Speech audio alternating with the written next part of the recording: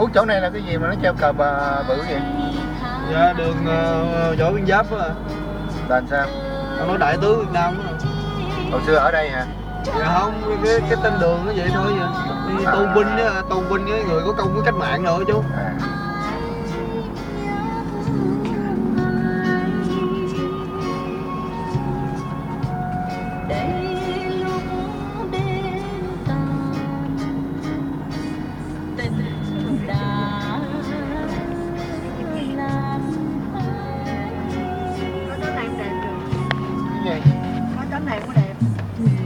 Đây, chống tay lên.